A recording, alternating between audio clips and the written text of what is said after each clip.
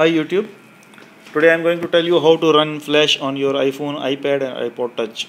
So you can uh, use a new browser that is Puffin browser which is uh, available on the App Store and uh, you can go to App Store and you can search for Puffin web browser free.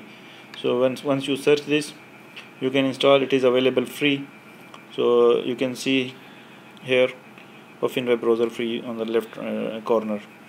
So once it is installed now you need to uh, run the app. And you can see this is a, a flash based website that is uh, showing the uh, live stream cricket matches. So I am using this.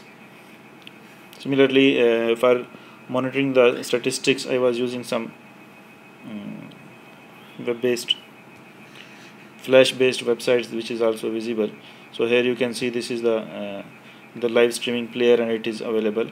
The, the one more thing very useful which is the you can see this is the trackpad available. So you can use mouse also on your web pages.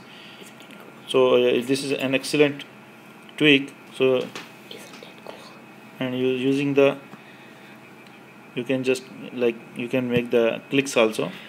So this is very useful. And then you can you can just uh, keep your finger on the trackpad and then you can uh, move outside the trackpad also. So this is very good tweak. I think this is very useful.